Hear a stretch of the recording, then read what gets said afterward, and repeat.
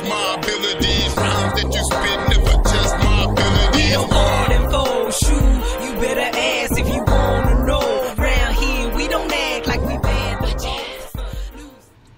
Pecos Bill here. And you know, this is MZ Talks Boxing.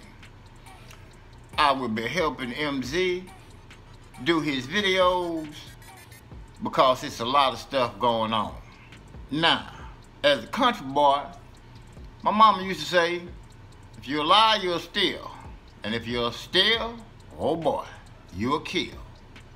Well, uh, we know uh, our boy Eddie Hearn is a liar.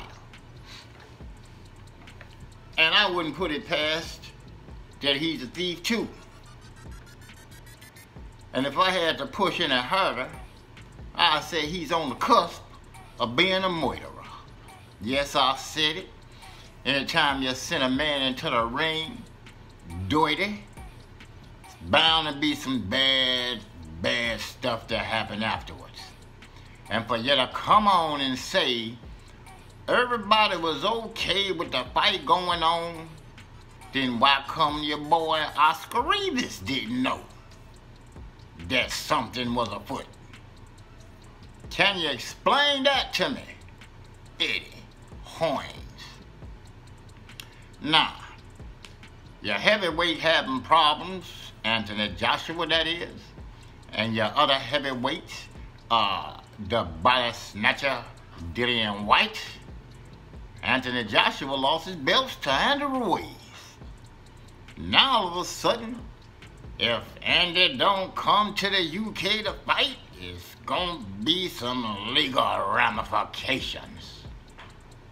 Well, I say, in the light of all the cheating, oh, I'm sorry, in the light of all the PED popping, I wouldn't want to come over there either. Might be something afoot. Eddie, why don't you just go and get your boys together, teach them how to fight, get them off those juices and extra proteins, let them train hard, and maybe they could compete.